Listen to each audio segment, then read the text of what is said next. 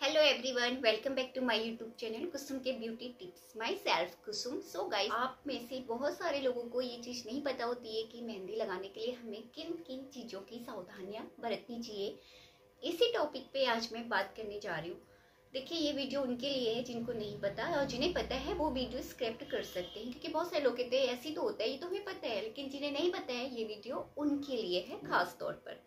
बहुत सारे लोगों की शिकायत होती है कि बाल बालों पे मेहंदी नहीं लगती है, या बालों पे ज़्यादा दिन मेहंदी नहीं टिकती है, या बालों पे मेहंदी लगाने के बाद हमारा बाल डैमेज हो जाता है, यानी कि ऐसी आप लोगों की बहुत सारी प्रॉब्लम्स होती हैं तो उसी को आज मैं सॉर्ट आउट करने जा रही हूँ, और किस तरह से आपको अपने हेयर्स पे मेहंदी अप्लाई करनी चाहिए, और क्या क्या सावधानियाँ बरतनी चाहिए, वो सब मैं आप लोगों के साथ शेयर कर रही हूँ। तो देखिए, मेहंदी लगाने से पहले आपको अच्छे से अपने हेयर्स को शैम्पू से वॉश कर लेना चाहिए और अगर आप अपने हेयर्स पे शैम्पू से बालों को वॉश नहीं करेंगे, आपके हेयर्स पे जितने भी डस्ट होगी डस्ट के ऊपर मेहंदी लगेगी, आपके बालों पे नहीं लगेगी। और जो डस्ट के ऊपर मेहंदी लगेगी तो बालों की जड़ों तक मेहंदी नहीं लग पाएगी।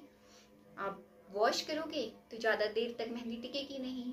तो नंबर वन आपको हेयर्स पे शैम्पू अच्छे से अप्लाई करना है देन उसके बाद ही आपको अपने हेयर्स पे मेहंदी लगानी है। और मेहंदी लगाने के बाद आपको अपना हेयर सुखाना है। दो से तीन घंटे आपको बालों पे मेहंदी ऐसी रख, छोड़ देनी है। देन उसके बाद आपको अपना हेयर वॉश कर लेना है। कोई कंडीशनर ना कोई शैम्पू आपको यूज़ करना है, आपको नॉर्मल वाटर से अपना हेयर को वॉश कर लेना है। देन उसके बाद आपको हेयर को सुखा लेना है। सुखा लेने के बाद आपको अपने हेयर पे ऑयल लगाने हैं। ऑयल लगाएँगे और एक या दो दिन के लिए आप ऐसे आपके हेयर्स को छोड़ देंगे देन आप तीसरे दिन या दूसरे दिन अपने हेयर पे शैम्पू लगा सकते हैं। तो क्या सावधानियाँ आपको रखनी है, वो मैं आपको बता चुकी हूँ।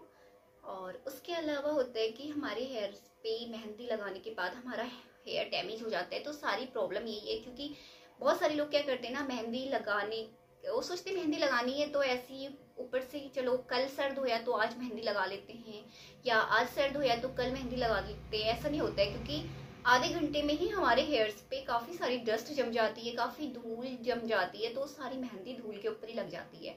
बहुत सारे लोग क्या करते हैं, मेहंदी लगाने के बाद अपने हेयर्स को शैम्पू से वॉश कर लेते हैं, जो कि नहीं करना होता है। और थोड़े थोड़े हेयर लेके आपको मेहंदी पूरे बालों पे लगानी होती है। आई होप कि ये वीडियो आपके लिए काफ़ी हेल्पफुल रही होगी। मैं आपसे मिलती हूँ फिर किसी नई वीडियो में तब तक के लिए बाय